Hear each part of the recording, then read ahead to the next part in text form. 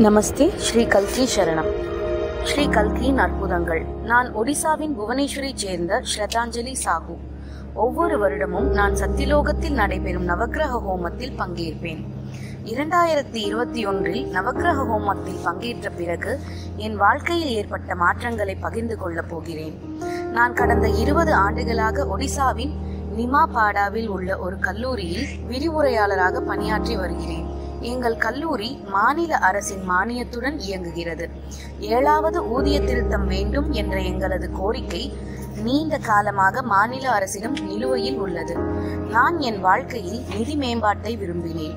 உறவுகள் உடல்நலம் மற்றும் படைப்பு திறனை மேம்படுத்துதல் போன்ற எனது வாழ்க்கையின் மற்ற அம்சங்களில் முன் முன்னேற்றம் பெற வேண்டும் என்ற ஆழ்ந்த ஆசை எனக்கு இருந்தது.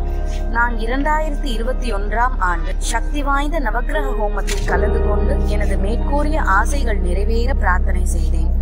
அதிசயமாக ஹோமத்தில் கலந்து கொண்ட மூன்று நான்கு மாதங்களுக்குள் மாநில அரசு எங்கள் கோரிக்கையை பரிசீலித்து ஏழாவது ஊதிய குழுவின்படி எங்கள் சம்பளத்தை உயர்த்தினர். எனது சம்பளத்தில் ஆண்டுக்கு ஐம்பது சதவீதம் உயர்வு பெற்றேன். என் வாழ்க்கையின் மற்ற அம்சங்களிலும் நான் மிகப்பெரிய முன்னேற்றத்தை அனுபவித்தேன்.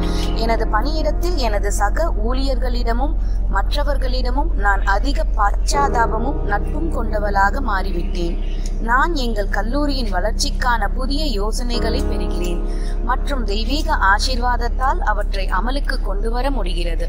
நவக்கிரக ஹோமத்தின் போது கிடைத்த தெய்வீக அருளால் மட்டுமே இவ்வளவு பெரிய மாற்றம் சாத்தியமானது. எனது பிரார்த்தனைகளுக்கு பதிலளித்த ஸ்ரீ அம்மா பகவானுக்கு எல்லையற்ற அன்புடன் கோடான கோடி நன்றிகள். நமஸ்தே